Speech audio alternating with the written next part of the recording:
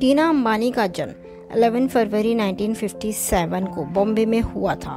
वे एक गुजराती परिवार से ताल्लुक़ रखती हैं। शादी से पहले उनका नाम टीना मुनीम हुआ करता था। टीना मुनीम ने अपनी स्कूलिंग ईयर 1975 में बॉम्बे के M M people's own school से की थी। इसी साल उन्हें फेमिना टीन प्रिंसेस इंडिया का खिताब भी मिला।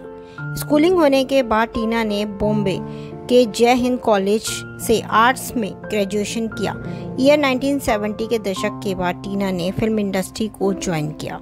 टीना मुनीम की पहली फ़िल्म ईयर 1978 में आई। फ़िल्म देश परदेश थी, जिसमें वह देवानंद के साथ नज़र आई थी। इसके बाद उनकी दूसरी फ़िल्म कर्ज थी, जो कि ईयर 1980 में आई थी। इस फ़िल्म में उनके अपोजिट ऋषि कपूर थे।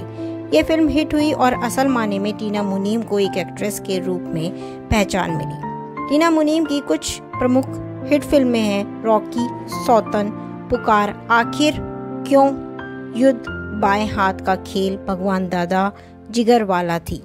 टीना मुनीम की फ़िल्म सौतन आपने ज़रूर देखी होगी, जिसमें टीना ने एक घमंडी लड़की का किरदार निभाया था। टीना मुनीम की आखिरी फ़िल्म ईयर 1991 में आई जिगर वाला थी। टीना मुनीम अंबानी परिवार की बहू बनने से पहले दो सुपरस्टार के प्यार में पड़ चुकी थी। टीना अंबानी को फ़िल्मों में लाने वाले देवानंद थे। टीना मुनीम का पहला प्यार संजय दत्त को माना जाता है। टीना संजय से बेहद प्यार करती थी, लेकिन संजय दत्त की नशे की लत ने दोनों के प्यार को खत्म कर दिया। संजय दत्त से रिश्ता टूटने के बाद टीना की घरती ज़िंदगी में खुशियाँ लाने का काम राजेश खन्ना ने किया। दोनों काफ़ी समय तक साथ रहे। टीना इस रिश्ते को स्थायी बनाना चाहती थी, लेकिन राजेश खन्ना कभी तैयार नहीं हुए और दोनों ने अपने रास्ते अलग कर लिए। दो बार दिल टूटने के बाद टीना की ज़िंदगी में अनिल अंबानी आए। अनिल अंबानी बिज़नेस बैकग्राउंड से थे और बॉलीवुड की चमक दमक से काफ़ी दूर सादा जीवन व्यतीत करते थे।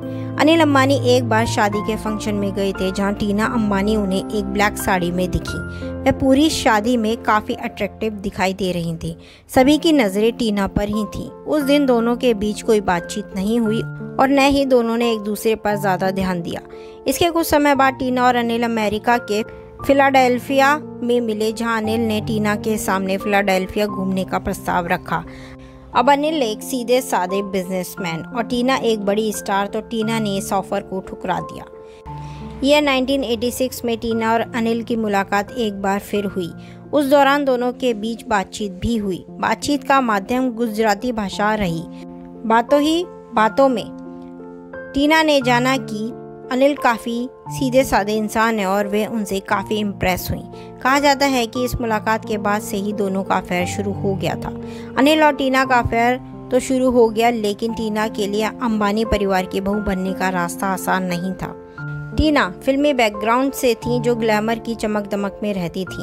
अम्बानी परिवार का सोचना था कि टीना उनकी फैमिली में एडजस्ट नहीं कर पाएँगी। इस कारण जब अनिल ने अपने परिवार के आगे टीना से शादी का प्रस्ताव रखा तो उन्होंने साफ़ मना कर दिया। टीना इसके बाद इंटीरियर डिज़ाइनिंग की पढ़ाई पूरी करने के लिए अमेरिका चली गई। दोनों के बीच करीब चार साल तक कोई कांटेक्ट नहीं रहा। इस इस दौरान अम्बानी परिवार में अनिल के लिए काफ़ी अच्छे रिश्ते आ रहे थे, लेकिन अनिल किसी भी लड़की के लिए राज़ी नहीं हो रहे थे। काफ़ी सारे रिश्ते ठुकराने के बाद अम्बानी परिवार समझ गए थे कि अनिल को सिर्फ़ टीना से ही शादी करनी है। इसके बाद अम्बानी परिवार ने टीना अम्बानी से शादी पर अपनी रजामंदी दी। अनिल अम्बानी ने टीना को फ़ोन किया और भारत बुला लिया। टीना जब वापस लौटी तो अनिल ने टीना को अपने पेरेंट्स से मिलवाया। दोनों के परिवार आपस में मिले और सगाई की। ईयर 1991 में दोनों की धूमधाम से शादी हुई। तब से ही टीना फ़िल्मों की दुनिया से दूर हैं और खुशी खुशी अपना जीवन अनिल अम्बानी के साथ बिता रही हैं।